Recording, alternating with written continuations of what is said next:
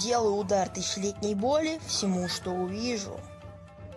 Немного поискавшись в гугле, я нашел, что такое удар тысячелетней боли. В общем, техника основана на известной детской игре, в которой пользователь протыкает зад противника.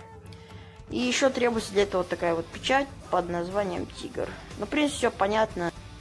Немножко потренировавшись, я уже овладел этой техникой и готов делать сокрушительные удары.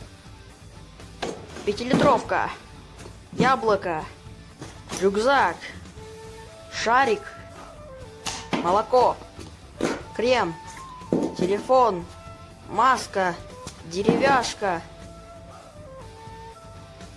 Но вот здесь вы можете видеть, как я хочу сделать удар тысячелетней боли Nokia. Так, я делаю печать. И... Нет, у меня сломались пальцы. Ну и вот такое видео у меня получилось. Э, Поддержите его лайками и подпиской. Но остальным я желаю удачи и пока-пока.